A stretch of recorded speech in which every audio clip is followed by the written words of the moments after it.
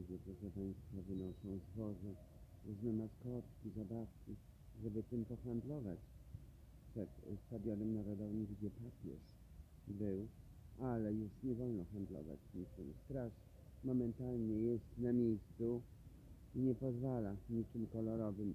Tutaj najwyżej w Galerii Milano można, proszę Państwa, wystawić swoje precjoza przy no, rondzie Waszyngtona, gdzie jesteśmy na Mazowszu nad Wisłą w Warszawie, pomiędzy Białym Stokiem, Poznaniem, Gdańskiem i Krakowem. O co chodzi, proszę Państwa, że Babilon Wielki już nie ma takich ogromnych wpływów, jak to kiedyś było, że handlowali lizaczki, kolory, baloniki z powodu religijnego, w sensie mszy. Bo teraz tak jak mm, też na święto jakieś państwowe, na święto jakieś, wiesz, takie świeckie, to tak, ale to już nie wolno. Państwo zobaczą, o tu, o, o, o.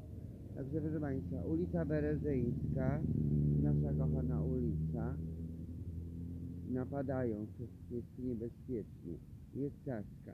Ale tutaj przy stadionie Babilonowi Wielkiemu już nie daje się handlować nic. O, widzisz, ulica Berezyńska, tu.